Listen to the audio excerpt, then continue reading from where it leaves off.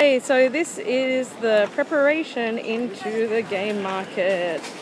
And the reason why I'm pointing to the floor is because of privacy reasons, so I don't take videos of people's faces unless they agree to it. So we're just going around.